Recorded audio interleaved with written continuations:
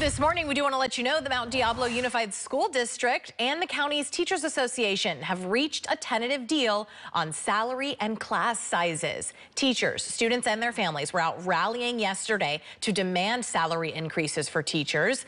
This new deal gives them just that. The agreement includes a 10.5% increase over three years. It also preserves prep time for fourth and fifth grade teachers.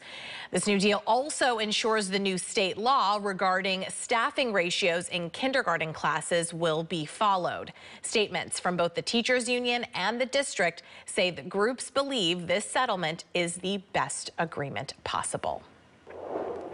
Big story we are